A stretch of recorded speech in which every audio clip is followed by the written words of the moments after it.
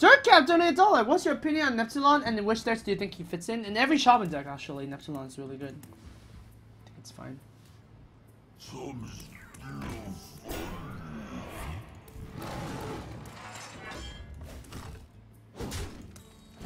Okay. So just silence silences and rag. Should be a really good turn.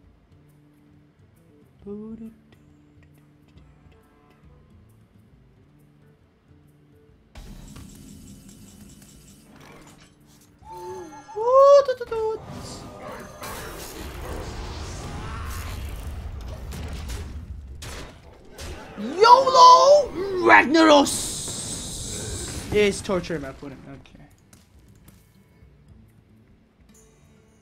Sir Precious, I asked about class legendaries? Uh, Not legendaries. Top three class legendaries. And which? Oh yeah, class legendaries. All right, fine. Uh, Tirion is really good. Neptulon is really good, and I guess the third one is I guess Grommash. But then there's also uh Jaraxxus. I guess Jaraxxus is not that good right now because everybody's running Harrison.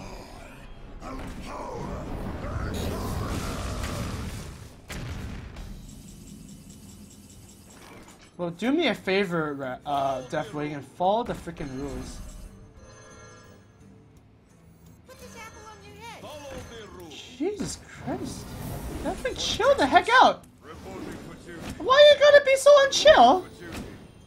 Reporting for duty.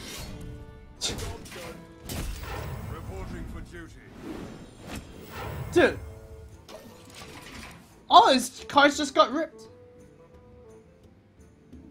Uh, a 1-3. So he- he spawned a 1-3. You might feel a little. That's cute. That was pretty cute. That was pretty cute.